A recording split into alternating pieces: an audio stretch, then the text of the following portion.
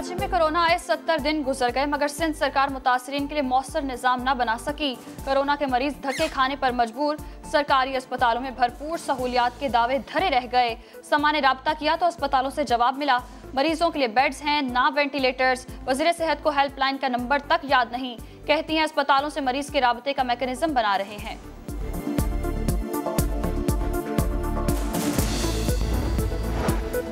कराची में डॉक्टर फुरकान का इंतकाल वेंटिलेटर की अदम दस्तियाबी से नहीं, सिविल अस्पताल के डॉक्टर की गफलत से हुआ। इंक्वायरी रिपोर्ट ने डॉक्टर जगदीश को जिम्मेदार करार दे दिया। डॉक्टर जगदीश ने चेकअप करके ट्रीटमेंट के बजाय दूसरे अस्पताल रेफर किया। वज़ीर आला की हिदायत पर डॉक्टर जगदीश को मुअत्तल कर दिया गया।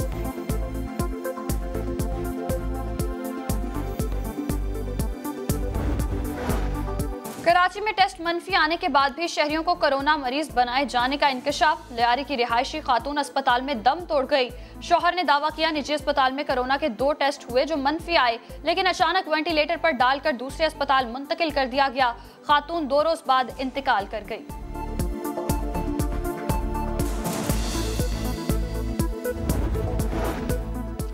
तबाही मौत पर डेथ सर्टिफिकेट न मांगा जाए। ये पुलिस का काम नहीं। कराची पुलिस चीफ ने अहकाम जारी कर दिए। गुलाम नबी मेमन के मुताबिक तदफीन के लिए इलाका पुलिस इजाजतनामे जारी कर रही थी, जिसके लिए डेथ सर्टिफिकेट मांगे जा रहे थे। कोरोना वायरस के खदशात, लॉकडाउन में कितनी नरमी होगी? फैसला आज वज़ीर आज़म की जेर सदारत कौमी रबता कमेटी के इजलास में होगा।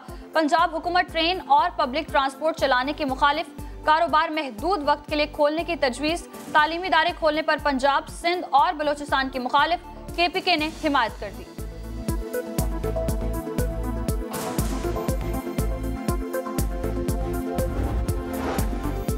लॉकडाउन भी और कारोबार भी कराची के बाद ताजिरों ने हुकूमत की इजाज़त ना मिलने के बावजूद चोरी छुपे कारोबार शुरू कर दिया। सदर में दुकानदार आधा शटर उठाकर कपड़े, जूते इलेक्ट्रॉनिक्स का सामान और परफ्यूम फरोख्त करते रहे। दर्जियों ने भी फीता लटकाकर कैंचियाँ चलाना शुरू कर दी। गंदम की बंपर फ़सल के बावजूद आवाम को लूटने के लिए मुनाफा खोर सरगर्म सिंध में गंदम की 100 किलो की बोरी पाँच सौ महँगी कर दी गई। कराची समेत सिंध में आटे की कीमत में इजाफे का इम्कान।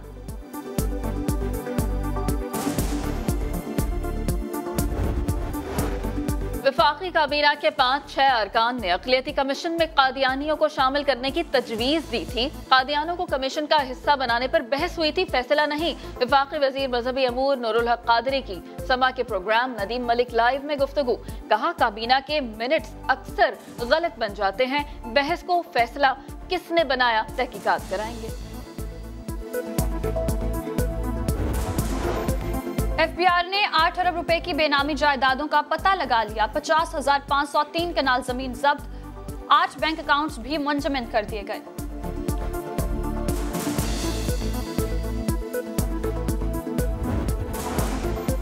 केडीए में एक ही खानदान के सात अफराद की भर्ती और तरक्की पर नैब की तहकीकात तेज। महकमा बल्दियात ने डीजी केडीए को खत लिखकर रिकॉर्ड तलब कर लिया। भारत एलओसी पर फॉल्स फ्लैग ऑपरेशन का जवाब तराशने की कोशिश कर रहा है। वजी अजम इमरान खान ने आलमी बरदरी से भारतीय मकारी का नोटिस लेने का मुतालबा कर दिया। वजी अजम इमरान खान से D G I S I lieutenant general Faiz Hameed की मुलाकात, कौमी सलामती के मोड़ पर तबादला ख्याल किया।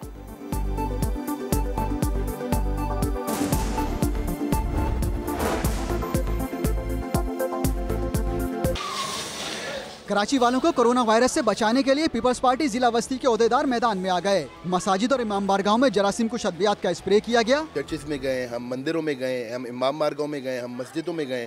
हमने हर जगह ऐसी जगहों पर जहाँ पर पब्लिक का रश होता है, हमने वहाँ पे जाके ये डिसइनफेक्शन स्प्रे कंपेन हमने भरपूर तरीके से की है। शुक्रिया अदा करते हैं कि वो आते हैं यहाँ पे हर तीन दिन बाद स्प्रे करके जाते हैं। कोरोना की वजह से आवाम बहुत परेशान है जो गरीब लोग हैं वो डिटॉल स्प्रे वगैरह उनके पास खाने की नहीं चीज़ें मुहैया नहीं है तो वो ये चीज़ें कहाँ से अफोर्ड करेंगे? नागन चौरंगी और शाद माउंट टाउन समेत जिला बस्ती के दीगर इलाकों में भी स्प्रे किया गया जिसमें नौजवानों ने बढ़ चढ़ कर हिस्सा लिया।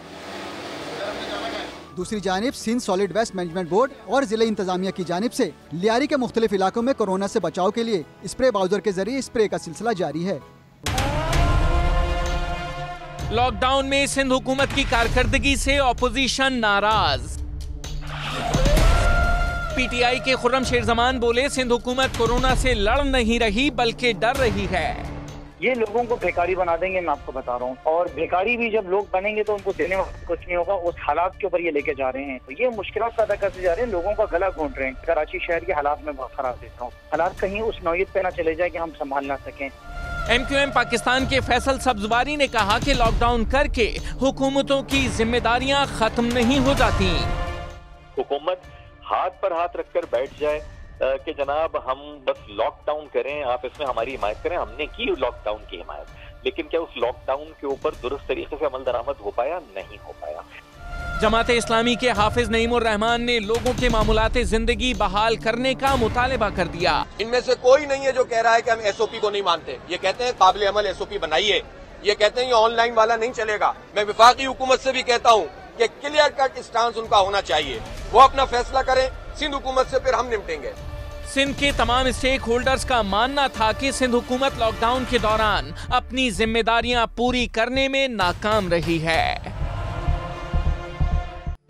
पुलिस की खुली कचहरियों का जमाना हुआ पुराना। कोरोना गर्दी के दौर में अब ऑनलाइन कचहरी मुतारफ। इस्लामाबाद में आई नाइन जोन में कामयाब तजर्बा कर लिया गया। साइलिन ने थाने पहुँच कर दीगर जोन के S T P O S P और डी आई जी को बरह रास्त मसाइल बताए। कई शिकायत के फौरी अजाले के अहकाम मौका आरोप ही जारी। पुलिस हुकाम कहते हैं जिम्मेदार हल्के कदम बढ़ाएँ और अवामी शिकायत के अजाले में कानून का हाथ बटाएँ। पोलिटिकल वर्कर्स हैं बाकी कम्युनिटी लीडर्स हैं उन तमाम को हम इंगेज करें उनको हम एक मैसेज दें कि वो हमारे साथ इस पे ऑन बोर्ड हों। ऑनलाइन दवाई और सुनवाई पर शहरियों का खूब इजहार इतमान ऑनलाइन वीडियो लिंक के ज़रिए खुली कचहरी का इनका किया है और आई इस्लामाबाद ने बर रास्त आवाम की व्यूज़ सुने हैं। शहरी और पुलिस हुकाम कहते हैं कोरोना गर्दी ने जहाँ कई मुश्किल पैदा की वहीं उनसे निपटने की नित नई राहें भी खुल रही हैं। नूरुल अमीन दानिश समा इस्लामाबाद।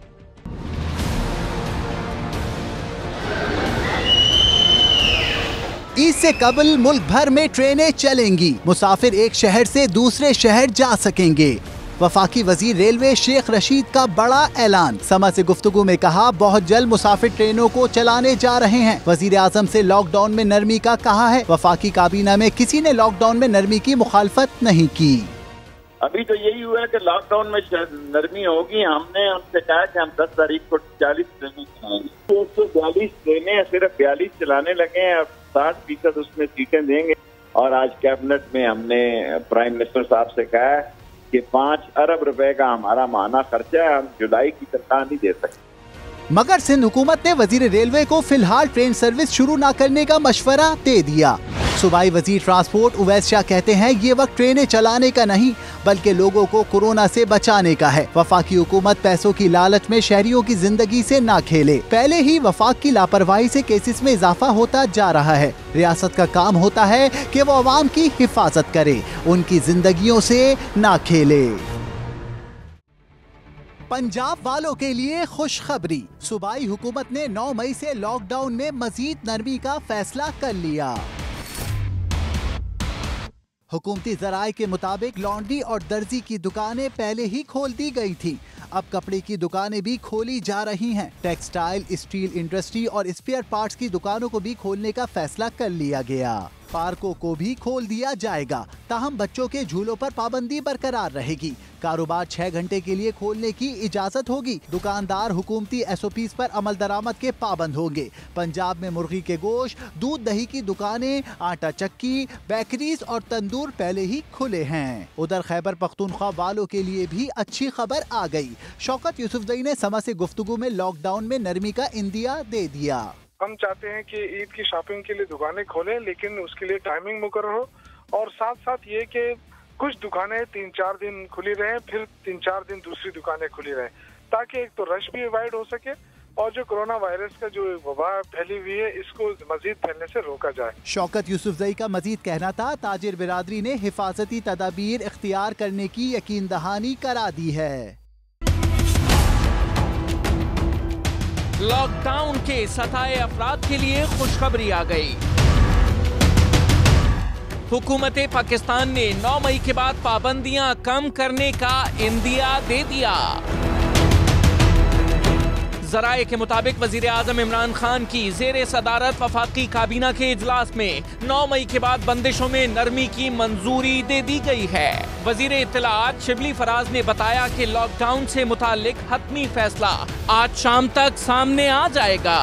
एक मीटिंग हो रही है। कंसेंसस पैदा कर, किया जाएगा कि जो पोस्ट नाइन में है, उसके बाद जो ये जो लॉकडाउन है, उसको हम किस तरह से नर्म कर सकें, उसके लिए क्या तजावीज़ होंगी, ये सारे जो चीफ मिनिस्टर्स हैं, सूबों के, वो इसको डिस्कस करेंगे।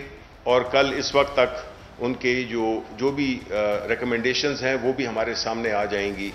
वफाकी काबीना के अरकान ने अपनी एक एक माह की तनख्वाह कोरोना रिलीफ फंड में अतिया करने का भी ऐलान किया है।